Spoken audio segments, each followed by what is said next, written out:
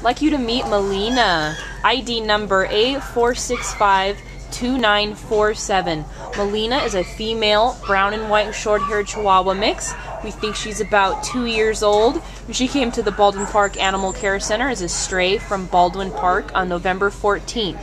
We think that uh, Melina is about eight pounds and she is rather underweight. We can see her uh, her spine through her back there. We think that she definitely needs some more treats, some more meals, a little bit more nutrition to let her fill out a little bit.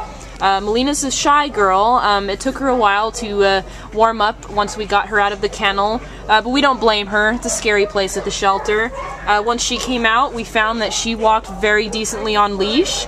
Um, she does really well with other small dogs that she has met. We haven't seen her around larger dogs yet, but we think it might be a little bit overwhelming for her. Uh, we think that she would do best in a house with older children or adults, only because she's such a shy girl and uh, she would need a more calm environment to come out.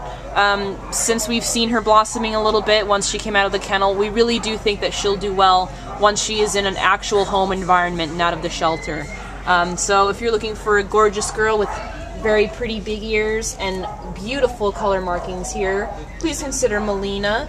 She is a very shy but sweet and loving girl and would be a great dog for some cuddle time or uh, couch potato time while watching football.